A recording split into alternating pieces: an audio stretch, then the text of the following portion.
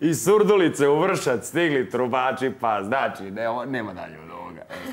A stigle su i naše Ivana i Mirela jutros od devet na nogama. Mm Mnogo toga su prešle, mnogo toga su prešle. Sada su došle do Srpskog narodnog pozorišta. Jer se žurka nastavlja tamo, šta se dešava? Mirela i ja danas nemamo tremu.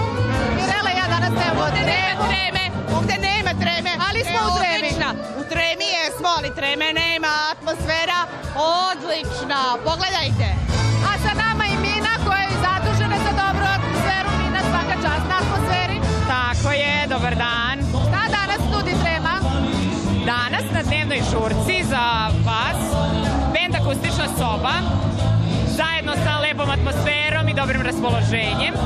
Isto je sve na repertuaru akustične sobe danas? Akustična, akustična soba je naš veoma obožavan bend. Oni su naš domaći bend, to su ljudi koji rade u Srpskom narodnom pozorištu, u orkestru, u operi. Oni nude od repertoara vrlo jedan široki spektar žanrova. To je i domaće i strane, i rock, i zabavna, uz malo naravno i kulturnijih narodnih pesama, što prosto nekako ovi praznici Hoće ostati tako i večeras. A večeras, večeras tek ide atmosfera, večeras pogotovo kada otkuca ponoć i kada uđemo u novu godinu, zajedno sa akustičnom sobom, bit će sjajno. Šta očekujete od 2023. i kakav provod u Tremi, šta će se biti tokom 2023. ovdje? Kod nas u Tremi spremamo mnogo iznenađenja u 2023. godini. Planiramo da zovemo neke bendove koji su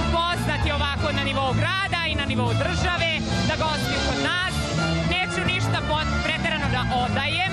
Biće tu i nekih stranih umetnika, zajedno sa nekim umetnicima također iz pozorišta, da se napravi jedan vid prosto neke druge kuće gdje će ljudi moći da dođu i da se pronađu u svemu svira akustična soba i danas na, na dnevnoj, a i večeras na noćnoj. Jel tačno da ovdje dolaze glumci da razviju tremu, da se